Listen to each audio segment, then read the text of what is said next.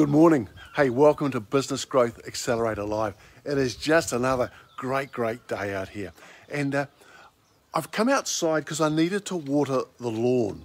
Now, you'll see behind me here, there's just a little uh, system going back and forth. And this is amazing because I want to talk to you today about systems. And remember, this is simple strategies for serious business owners who want solid results. Now, before I got this little system you can see behind me that's watering the lawn, I used to have to stand there, use one of these. All right, we've all probably used it before where we water the garden, and I used to have to stand there, and it used to take time. Um, but then I realized there has to be a better way because it's like in business. If you have to be in business all the time, then you are a slave to the business. You don't have a business that can operate profitably without you. So then I was on uh, on uh, Amazon the other day, and I saw this little thing to water the garden. I thought this is pretty cool, all right, because you can see it swings back and forth. I can just stand here and watch it, or I can actually go inside and do something else. Now the thing is, it will continue to water the garden and water the grass, whatever I need it to do, for as long as I want until I turn the tap off. That's the great thing about it. So I'm actually in control of it. And this is what we need to be in our business as well, to be in control of our businesses.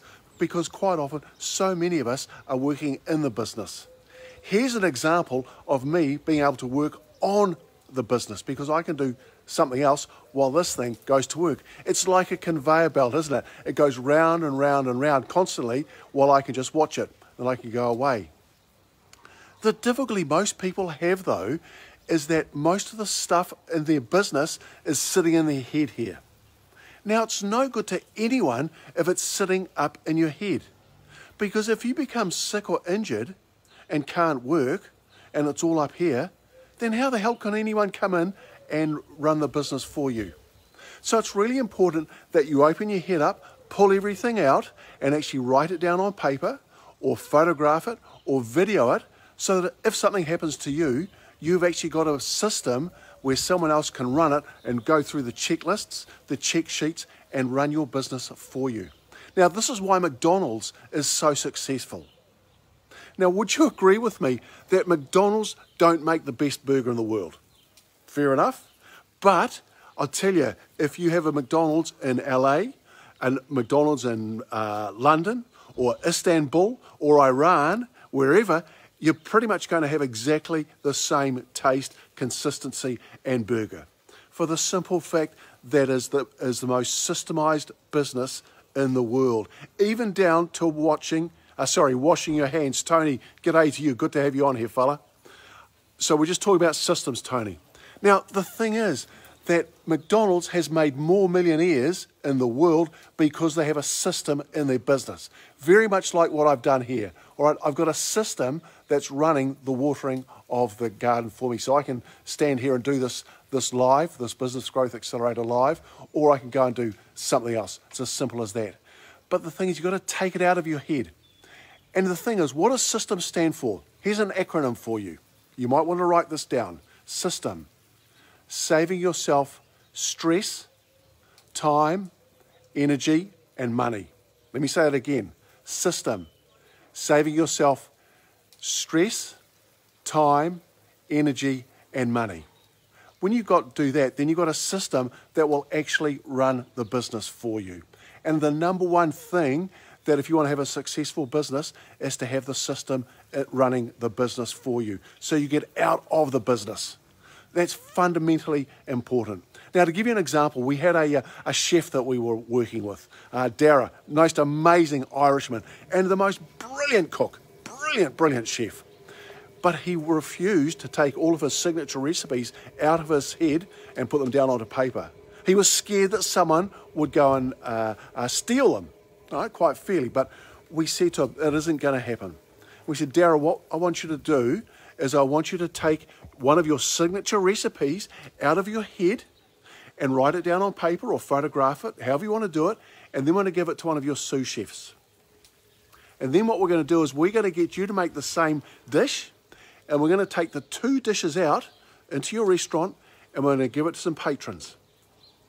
We're going to ask them who has cooked the dish, see if they can tell the difference. He was a little bit reluctant to do this. But anyway, he said, Oh, I'll give it a go, as Dara did. So anyway, they did this. They got one of the sous chefs to write, do the dish exactly as Dara had written it down for him. All right. We then took it out to the restaurant. It was fascinating. The patrons there were wondering why we were doing this because they both tasted the same. They said, These are great dishes. In fact, we would like to order this now, not what we'd ordered originally, which made us laugh. Okay. Dara all of a sudden had a light bulb moment. We went back into the kitchen and he said, I'm working 14, 15 hours a day, yet I just now realised my sous chef can do this and I can actually have some time off. You should have seen the light bulb that just came on. Now, here's the other interesting fact also. Dara then systemised the business and they sold it 11 months later. They were told that they'll probably get three or four times multiple for it. They ended up getting eight times multiple, which gave them a whole lot more money to go and do things. And here's the interesting fact like when you sell a business, most uh, people who buy it want you to stay in the business to help them run it for a period of time because all this stuff's still in your head. Because Dara had systemized his business, written all the signature dishes down, he could walk out. The new business owner came in and just carried on. And that's what having a system is uh, like. And I'm just looking at my system here. It's going pretty well, actually. I think it's time to go inside for a cup of coffee. So there you go. There's the tip for the day. Systemize your business. This one tip will actually help you to have the time that you want, the freedom that you want from your business, and the money that you deserve and desire. Now, if you've liked this tip, please share it, um, comment on it, uh, talk to me about it. And if you want, please come and join Business Growth uh, Accelerated because we do this every morning live, 10 past 9, five days a week. Not on the weekends because as business owners, you need to have a break. And Saturday and Sunday for me is my break. Hey, we'll see you tomorrow morning, 10 past 9. Go ahead and systemize your business.